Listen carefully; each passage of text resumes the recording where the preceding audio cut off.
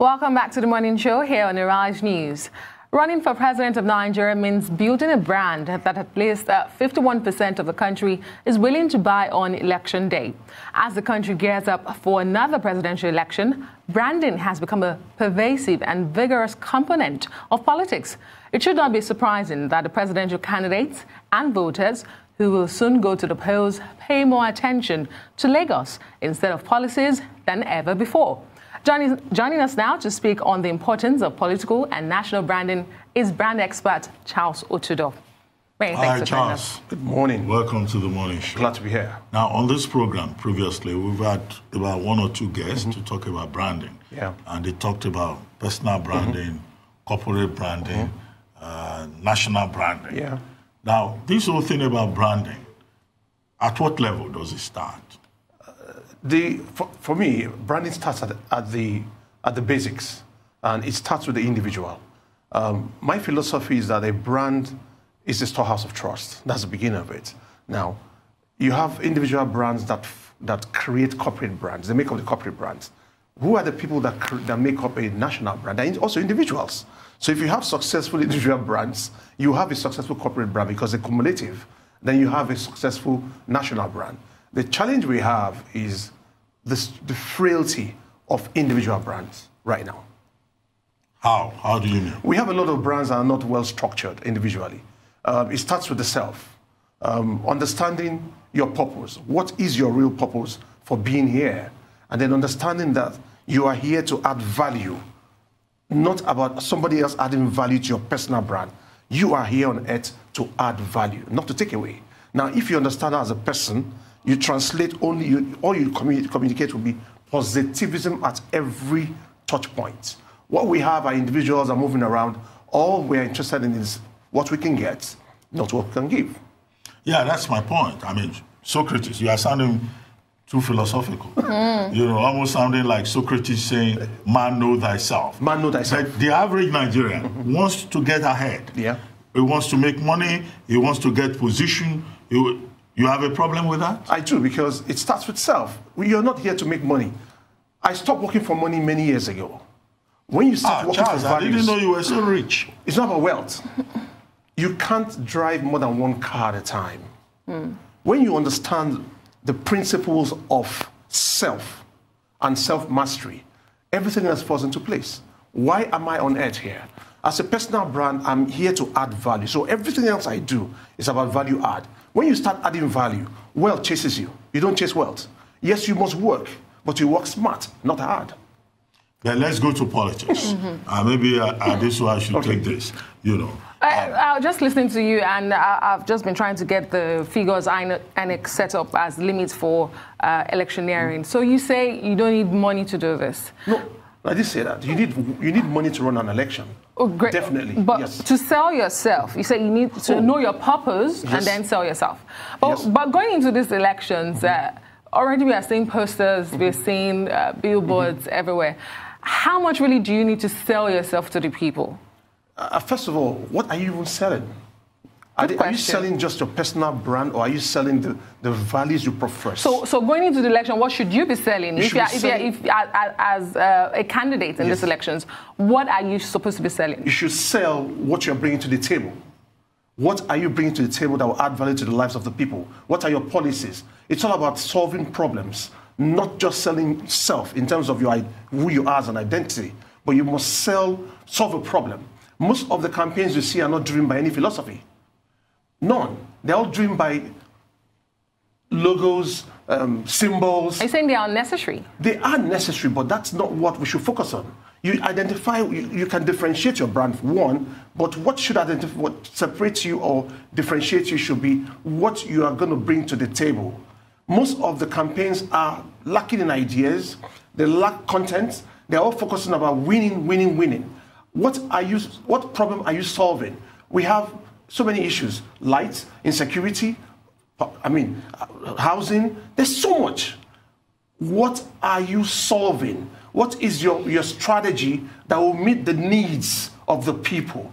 Nigerians want to hear what you are about to offer. Okay, let's go beyond the individual. Mm-hmm. If you take the political parties, yes. 79 of them mm now on the list, mm as brands, What's your take? Are they brands? They are commodities.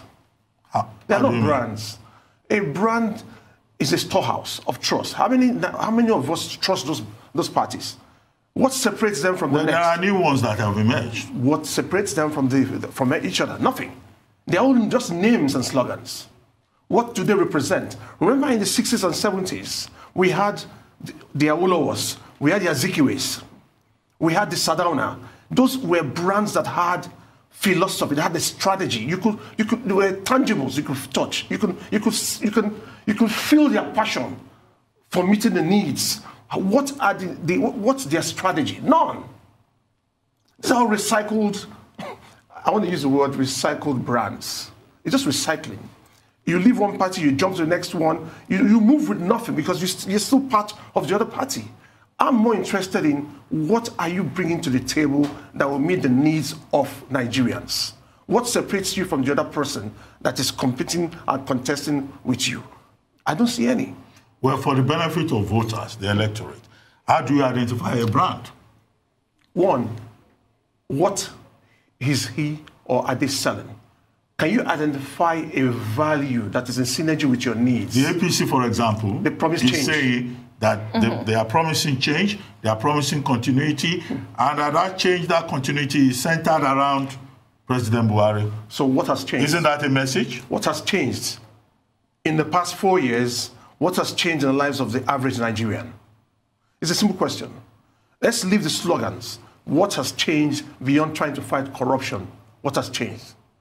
Now, when I work on a brand in terms of strategy, I tell the client, you must be able to meet those promises, or else you become a failed brand. You become a donut.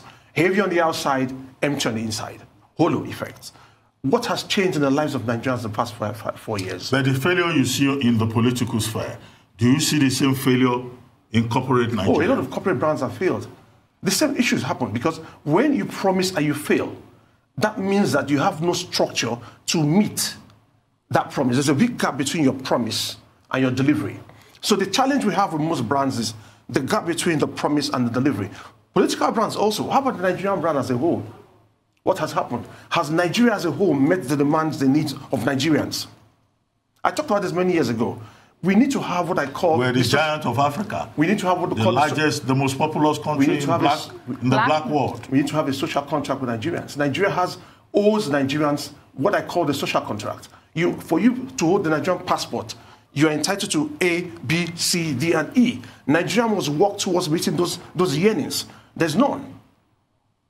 That's where we have the gap. We, we expect a lot from our country. We pay our tax. You are expected to, to meet certain levels of responsibility. What do you get in return? So when you want to create a brand that is successful, you must manage the gap between your promise and your delivery. That's why I said a brand is a storehouse of trust. For instance, Mr. Reuben Abati, you are renowned, you're known for something.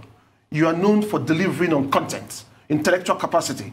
Did, when you call me, I know you are calling me, you will deliver beyond my expectations in, in, in terms of that, that capacity.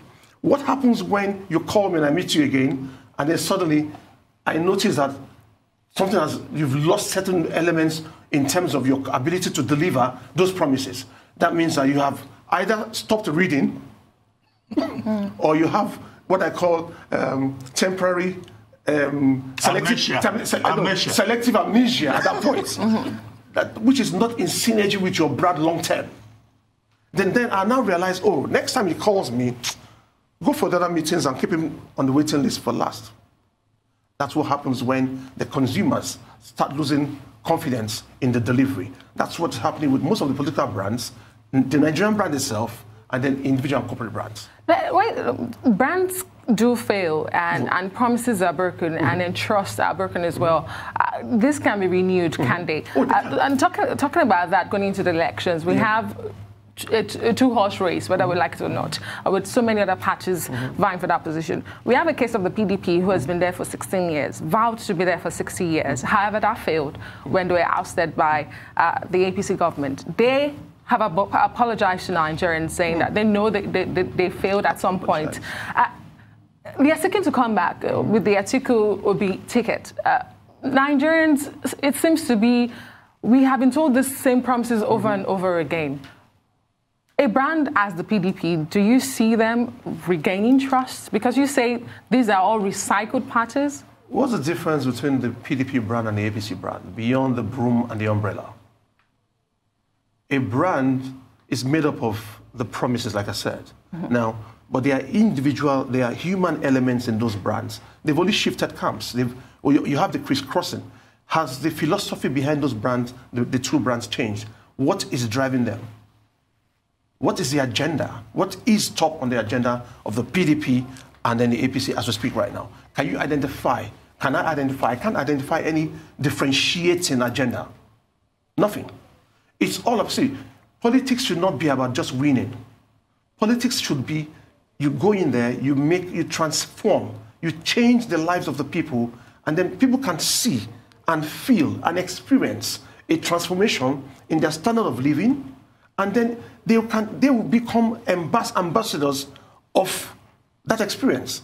Four years down the line, let me use myself as a case study. What has changed in my life? What has changed? Well, your beard appears uh, Whiter. whiter. What has changed? that's, that's some change. Let me ask you, what has changed? What has changed? What has changed? So Anyway. it's, it's, it's a bit, it's a bit, um, what's the word? It's, I can't, I can't, I can't, I can't place my finger on anything that has changed beyond Well, the fight for on, corruption. earlier on, you referred to the to the national brand, to Mm-hmm. the country brand, and I told you where Nigeria is regarded as the most populous country, you know, as nation. a giant Mm-hmm. of Africa and all of that. Uh, but there are some people who think that Nigeria is a failed brand. If that is true, what can we do to rescue the Nigerian brand? Mm. One, in we- your view. I think we should define who we are as a people. We need to define, critically define, not just branding. We need to really define the Nigerian brand. Who, who is Nigeria as a brand? Now, what drives us? What are brand values? What are the values that should come tops in a scheme of things? Is it integrity? Is it um, um, faithfulness? Whatever. We need to define critically. I'm not Well, we talking have a constitution. We have a Chapter 2 spells out Oh, the yeah. constitutive Let's principles leave and directive principles. But how many of us understand the Constitution? We need to have what I call a brand driver, a driver that drives the, the basics that drives us as a people. If we define that, and then this, the people in government leave it out. You see, it's very easy for us to say we are Nigeria, but how Nigerian are we beyond the slogans, our lifestyle. Are we better off now than before? Are we more disciplined? Are we more organized? Now let's leave the Nigerians apart. Let's go towards, look at the Senate. Look at our political leaders. How do they conduct the affairs of state? How do you run your personal brand, you yourself, in your, in your personal capacity, and then when you're in public, and then when you're executing your, your role? How has that changed? Does it, does it relate, does it reflect the values we profess? So what do we do differently? Sorry, Reuben, sorry to jump in there. What do we do differently? What's our role as individuals, as you, me, Reuben? What do we all do? It starts with me. The brand starts That's a with me. familiar uh, slogan, isn't it? It should start with me. When I transform my brand into the positive one, I will transform everything that's around me. It will be what I call the bandwagon effect. It takes time.